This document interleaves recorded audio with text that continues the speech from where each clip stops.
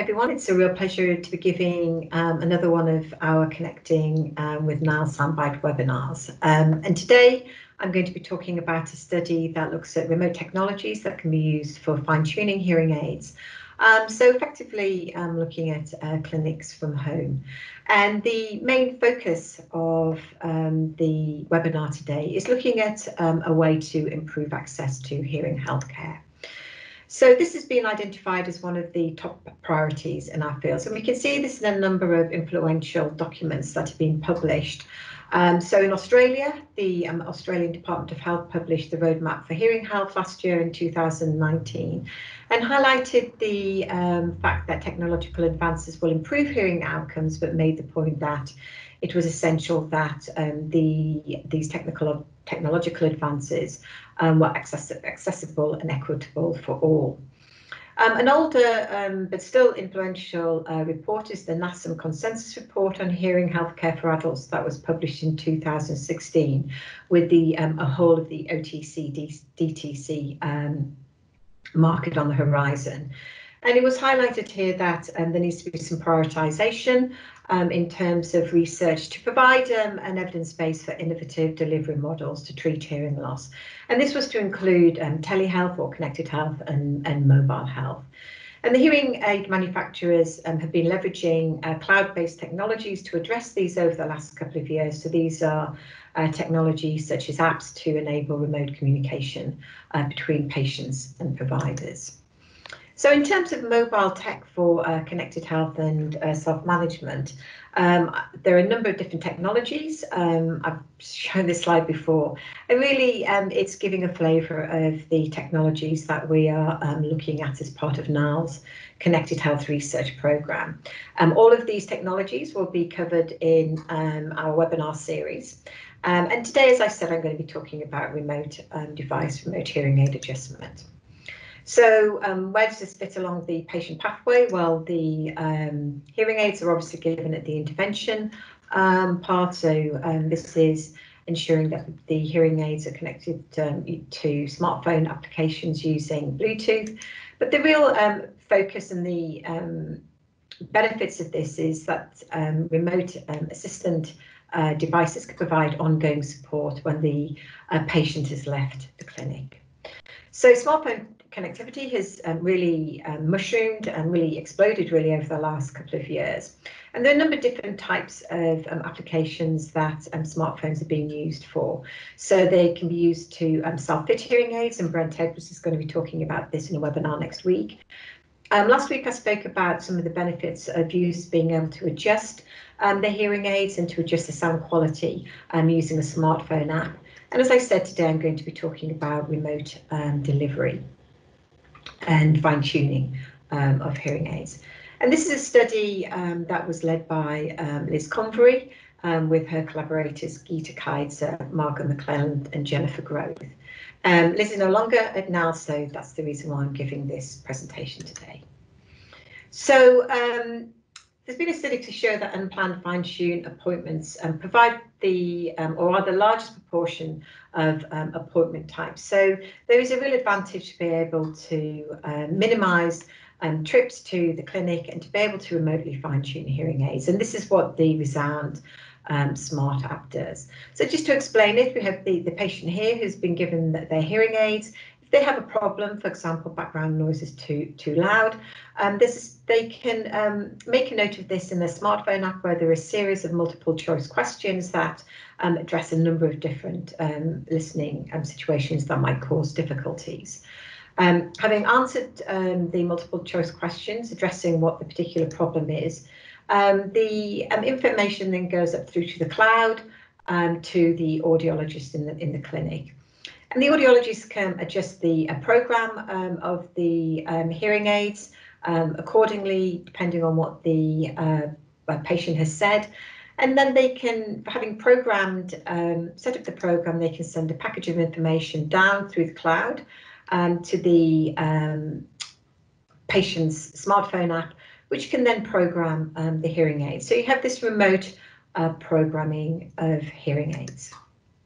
So the study objective was to evaluate post-fitting use of um, the ReSound Assist uh, program um, with experienced hearing aid users and as they were sort of going about their everyday lives, so looking at real world environments. And there were three different uh, research questions. And the first one was how usable is um, um, ReSound Assist? And the importance of looking at this was that um, usability needs to be assessed um, to ensure that end users can use whatever the application um, is. And at the time this study was carried out a couple of years ago, this was a relatively um, new technology, not widely used. The second uh, research question was how does patient provider communication via ReSound Assist compared to face-to-face um, consultation. And now this has um, become a, um, an essential question which is being asked clinically, um, as well as in research as um, we have moved into the um, new COVID era and the use of telehealth and connected health really has increased a lot over the last couple of months. And then the final research question um, was, are hearing aid fitting outcomes influenced by the mode of client-clinician communication? So the study was a six um, um, six week trial. Um, there were two groups. There was an intervention group um, and a control group. There were 15 participants in each, and the control group was matched for age, gender, and the four frequency um, pure tone average. Um, the intervention group had the ReSound Assist. Um, but they didn't have the face-to-face follow-up at, at um, week two, which is typical and part of the standard Australian hearing healthcare um, program. The control group um, had didn't have the ReSound Assist um, app, but did have the um, standard face-to-face follow-up at week two. Um, and of course, both groups had the ReSound LiNX uh, 3D hearing aids.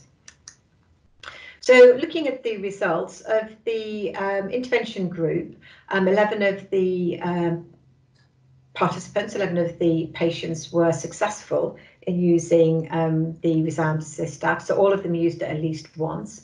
There were three um, patients or participants who did not use um, the app, and that was because they didn't feel they had a need to use it in, the, in that six week period.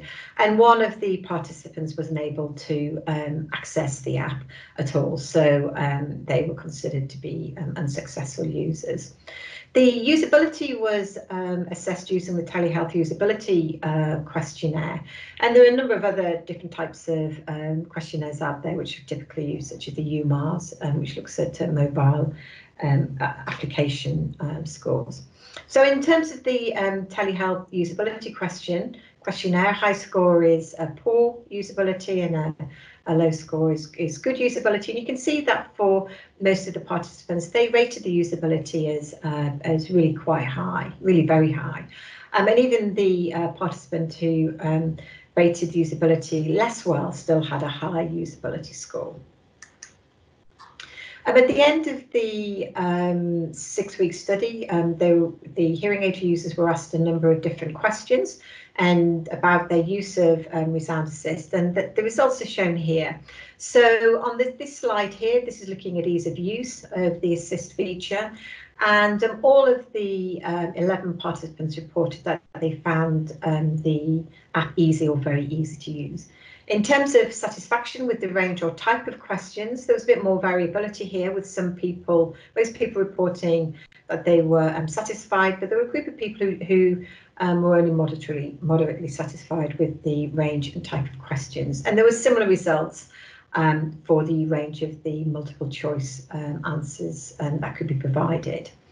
In terms of satisfaction with the new settings that were set up using Remote Assist, everybody except one um, participant reported that they were very or extremely satisfied.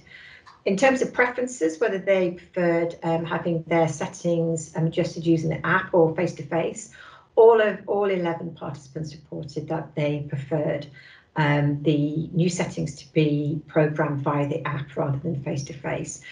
So um, I think what we're seeing here is very similar to what we've seen with some of the um, studies from now, which shows that once clinicians have used um, telehealth or connected health systems, they're much more likely to use it, and that's their, their preference in future. And we're seeing the same kind of results here with patients. And finally, um, all of the um, participants reported that they would be extremely interested in having a similar feature in their hearing aids um, going forward. So there were um, a series of open-ended questions in focus group, and it was a focus group um, that was um, conducted as part of the usability aspects. And there were three key themes um, that emerged. The first was effectiveness, so how accurately and completely could um, users accomplish their goals. Um, the positive comments are here, the less positive comments on this side. So this patient here says, I managed to install the new settings without difficulty. And this uh, participant says, I had to choose other as my answer to many of the questions since my issue was not covered by the questions that were asked. In terms of um, efficiency, so what um, is the resource burden on users relative to effectiveness? Um, this um, participant here said it was quick to learn um, how to use it, even for me who is not that into technology. And again, time and time again in these kind of studies, we see um, uh, older adults reporting that they're not that proficient at technology, but actually once they're given the opportunity, quite often they can go ahead and, and use it um, really quite well, um, really quite effectively and, and efficiently. Whereas this uh, participant said, I felt I had to spend time typing details of my problem into the text box, as well as answering all the questions. So both of these points here are really reflecting some of the uh, questions um, that we saw on the previous slide around some, um, a little bit of dissatisfaction on, in terms of the uh, questions were asked. And finally, um, in terms of satisfaction, how pleasant and acceptable is the technology to users? So this person says, I like the look of the app. It didn't look like a game, so it wouldn't be overly enticing for others to look at say in a meeting. So basically other people wouldn't be distracted by it. And also we've seen it before, you know, it then if it doesn't look like a game, it makes it more socially acceptable to be able to make adjustments to, to hearing aids on the go without looking as though people are just simply playing or fiddling with their hearing, uh, fiddling with their smartphones. Um, whereas this um, patient here said um, red on black can be difficult to read. So that was um, really um, um, sort of a really putting into the whole usability issue. In terms of the patient-provider communication, there were a whole bunch of uh, problems that arose because this is what we see in, in typical everyday life in, in hearing aid uh, clinics. and there's a whole different range of issues that were raised. Um, and what can be seen is that the uh, range and types of problems are similar regardless of the communication mode, whether it was app-based or face-to-face.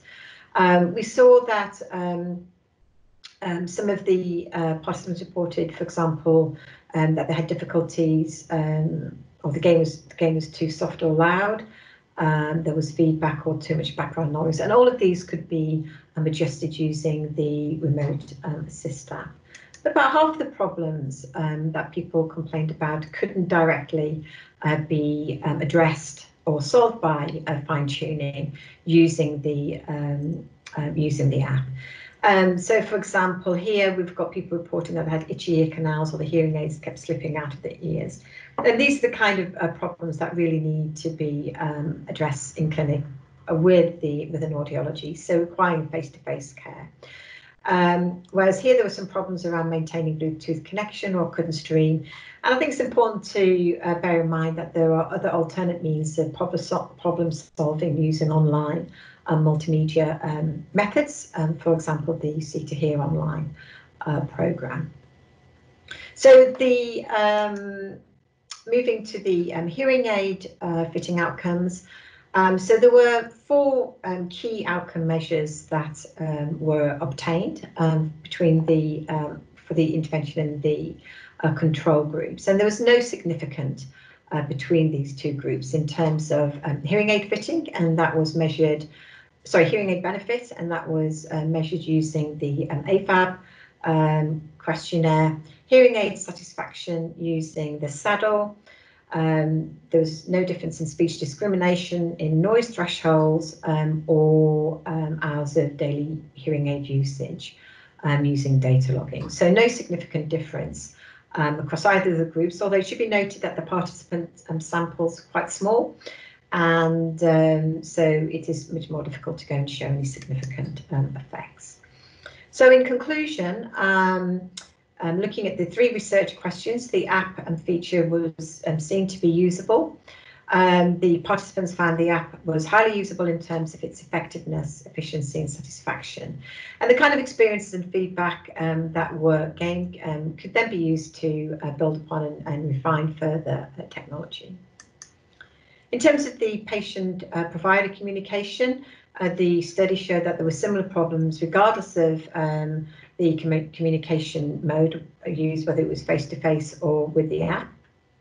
And um, it's important to say that not all the problems can be solved at a distance, um, and some require face-to-face -face care or some other kind of um, online uh, support um, to enhance um, any of the, or to, to address any of the problems that arise. And then finally, in terms of um, hearing aid outcomes, um, there was shown to be no difference um, between the face-to-face and the remote um, technology um, model, um, with no detrimental effect on hearing aid outcomes. So uh, an app-based communication method is a viable way to improve hearing healthcare accessibility. So what about COVID-19? So everybody's a bit, uh, a bit sick of it now. But we are seeing that uh, the uh, pandemic has actually um, caused a disruption to hearing healthcare. Um, shown in this um, cartoon um, here that I, I, came across about six weeks ago, which is actually really, um, really quite true.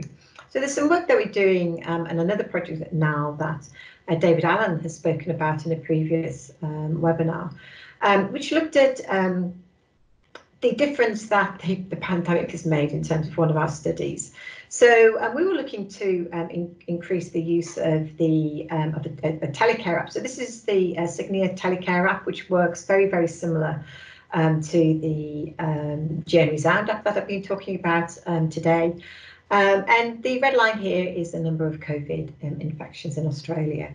So we were looking to try and increase the use of the Telecare app and we had done some work and identified some interventions to do this, um, which we implemented um, just uh, towards the um, end of January, beginning of February. And we started to see, you see here, this is like increase in um, take-up of telecare and increase of um, COVID infections. And we can see that um, when we introduced the um, interventions to improve take-up of telecare, we actually did see this, and it was all looking pretty good until the pandemic hit. And um, we can see that um, from the beginning of March in Australia, there was, um, uh, as we see in other countries, um, a large, rapid exponential growth in the number of uh, COVID um, infections. And what was really fascinating was when we were continuing to monitor um, the use of the telecare app, our intervention clearly had sort of gone out the window. Um, we saw that um, the uptake of the telecare app pretty much mirrored um, that of the COVID infections. So this was a really interesting finding. What we're seeing is that social distancing has required um, has required fewer face-to-face -face clinic appointments, and we see this in in the um, the results here. So good quality remote services are now needed more than ever.